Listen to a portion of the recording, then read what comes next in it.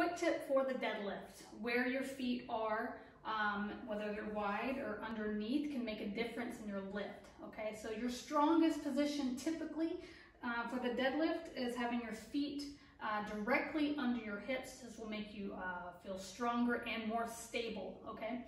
So right underneath your hips, spread your toes and grip the ground, okay? So grip that ground hard, grab, drive your feet into the ground, and reverse the movement. Okay, so use those legs to push up, press your feet into the ground, keep them right under your hips.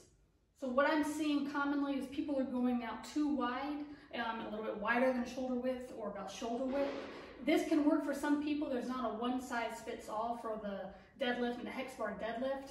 Um, but typically when we go out wider, um, our knees cave in, okay? Or our feet collapse, the arch in our feet kind of collapse. And this also allows us to cave in. We're not gonna be strong in this position. Our glutes aren't gonna be able to turn on as much as if our, if our knees were tracking over our toes between our big toe and little toe.